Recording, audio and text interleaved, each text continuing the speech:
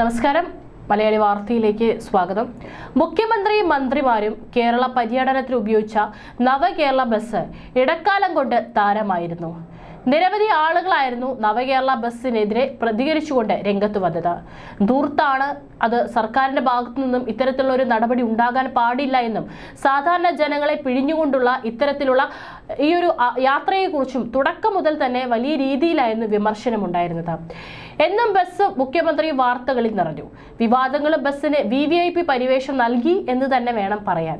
എന്നാൽ ഇപ്പോൾ ആ വി വി ഐ പി ബസ്സിന്റെ അവസ്ഥ എന്താണ്? അത് കണ്ടാൽ നിങ്ങൾ ഞെട്ടും.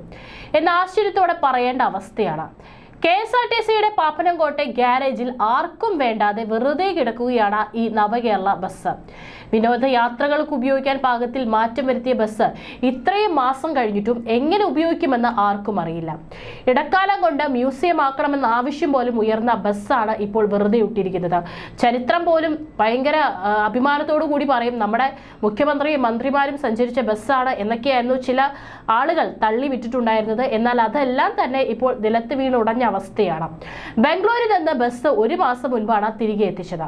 മന്ത്രിസഭ ഒന്നടങ്കം യാത്ര ചെയ്തത് വഴി ബസിന്റെ മൂല്യം ഇരട്ടിയാകുമെന്നും ഇടത് നേതാക്കൾ അവകാശപ്പെട്ടെങ്കിലും ബസ് ഇപ്പോൾ ഉപയോഗിക്കാതെ ഇട്ടിരിക്കുകയാണ്.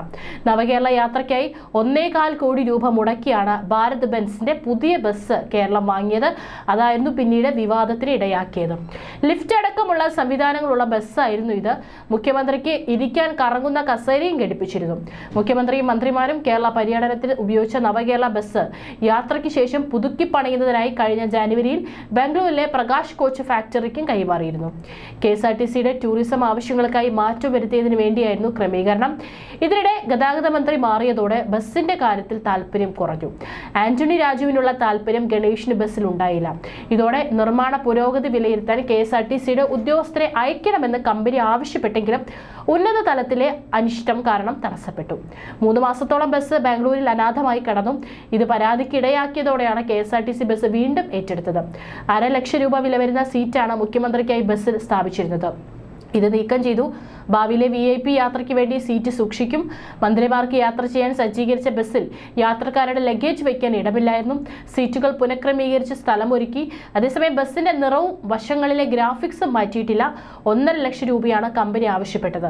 ചിലവ് കുറഞ്ഞ വിനോദസഞ്ചാര യാത്രകളുടെ ശ്രദ്ധേയമായ കെ എസ് ആർ ടി സിയുടെ ബജറ്റ് ടൂറിസം വിഭാഗത്തിന് ബസ് കൈമാറാനാണ് നേരത്തെ തീരുമാനിച്ചിരുന്നത്. വേനൽക്കാലമായതിനാൽ ബജറ്റ് ടൂറിസത്തിന് യാത്രക്കാർ ഏറെയുണ്ട്.